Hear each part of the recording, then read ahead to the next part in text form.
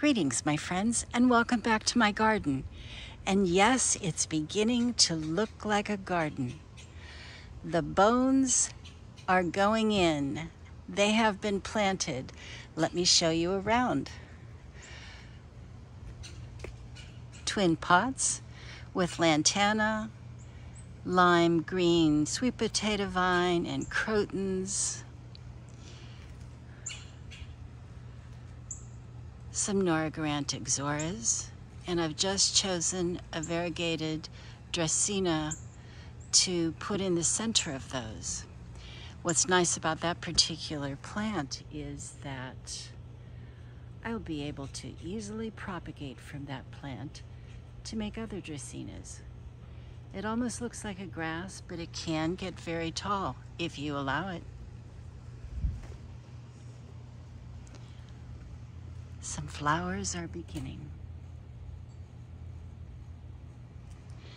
And here, kind of the entrance to the house, I took some of the wonderful rocks that we had, that we had used as edging prior, and just created these little, oh, like little eyebrows. Certainly not a retaining wall, but uh, reminiscent of one. At least it shows off the rocks. And here we have planted a Miami Supreme gardenias, some purple petunias, and some lime sweet potato vines. And these wonderful flowers and ground cover an ice plant that will grow and come up year after year and get bushier and bushier.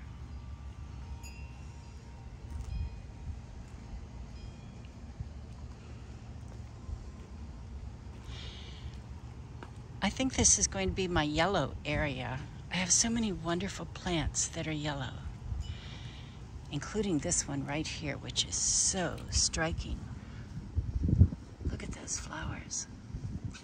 This is called, I bought this at the Edison farm.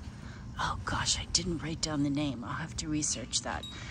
But isn't that a striking flower? And it blooms all year round gets to be about two feet tall. Sir Eisen, Iyek, Sir Ian is doing very well. And so are the plants over here. So I'm happy to report that I did not kill a, a uh, caterpillar.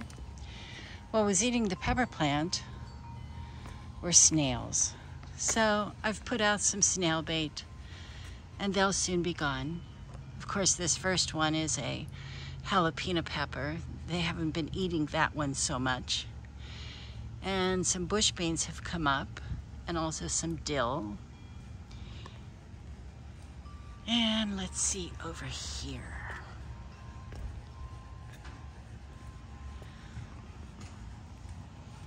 Hmm. Radishes, lettuce, parsley, sage, and sorrel. So, I also have a beginning down here. I call it my Zen corner. And this is the beginning. This is that wonderful Rex begonia. God, he has already started growing. And I've had this little figurine since I was a child. That's a good place for it. Look at this great rock. And then these are some plants I just acquired today.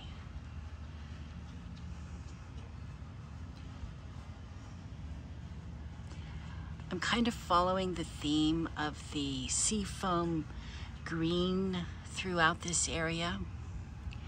I think it should be very striking.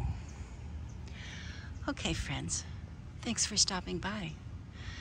I hope you have a Zen kind of evening. Bye now.